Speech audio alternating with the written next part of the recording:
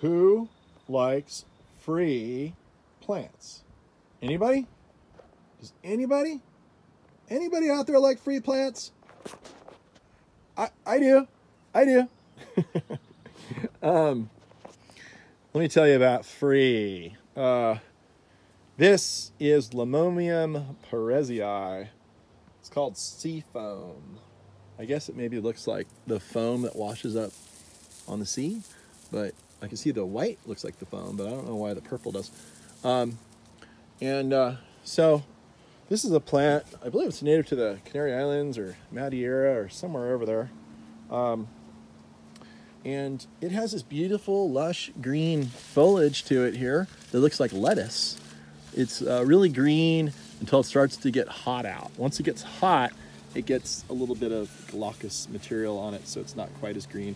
That's really to give it the drought tolerant aspect that it needs to survive in areas that are dry, like it will be here soon. It's late May, it's getting dry. Uh, and this plant actually will grow in Northern California in our clay soils without any watering at all. And if you do this, if you do this right here, if you do this in your garden, you will get this and that and those and eventually so many that you won't be able to walk down your path. um, and the bees like it. I can prove that right there. He's going for it. Just love the bees. So I was going to pick that and show you what a dried flower is like, but I don't want to get stung. Uh, this makes a wonderful dried flower. So you can pick these things uh, and, um, you know, bring them in your house and that'll be good looking for months and months and months until it gets all dusty and nasty and you throw it out. But uh, you can even pick these things at this stage and throw them around like wherever you might want some more.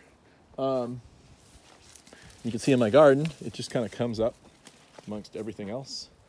And, uh, and you know, I'm into free. I like free. I'm here to sell you plants, but we don't really even sell this plant at the nursery. We kind of, sometimes we do. Sometimes I'll dig these things up and I'll bring them to the nursery and then we'll sell them. Um, but what a really pretty thing this is. But it's a wonderful filler plant in your garden, as you can see.